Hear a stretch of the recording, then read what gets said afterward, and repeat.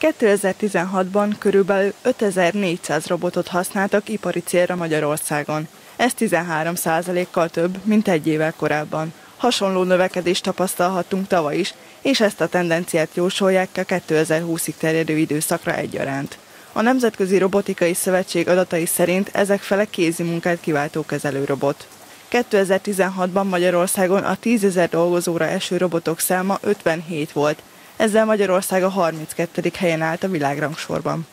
A robotizációt, a technikai fejlődés azt nem lehet és nem is fog, fogják tudni megállítani, mert az iparnak egyre hatékonyabban kell termelni, egyre magasabb színvonalon, amit már emberi kézzel sok technológiai munkafolyamatot nem lehet elvégezni, olyan precizitással, olyan gyorsasággal, olyan magas szakmai színvonalon, ahogy a technika, akár a robotizáció is ezt végzi.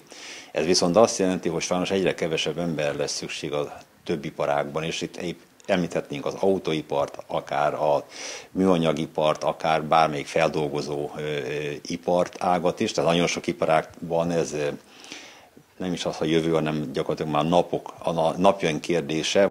Ez főleg a külföldi nagy multicégeknél igaz, ők tudják ugyanis megteremteni ennek az anyagi feltételeit. Azonban egyre több hazai nagyvállalat is használja a legkorszerűbb technológiákat. Ezeket ugyan nagyon költséges bevezetni, de hosszú távon magas profitot eredményez a vállalkozásnak. Azonban a robotizáció veszélyforrásokat is rejt.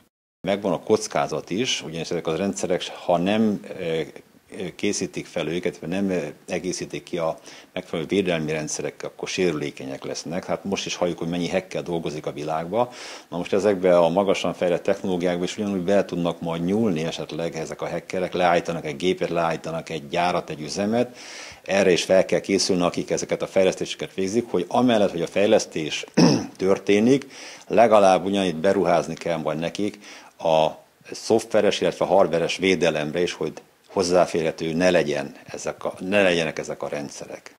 A munkaerőpiacon ezért a szoftverfejlesztőknek, villamosmérnököknek és gépészeknek van a legtöbb lehetőségük elhelyezkedni. Nagy szociális kérdés azonban, hogy akik a robotok miatt kiszorulnak a munkaerőpiacról, azok hol tudnak majd elhelyezkedni, munkát találni, és hogyan fogják biztosítani a megélhetésüket.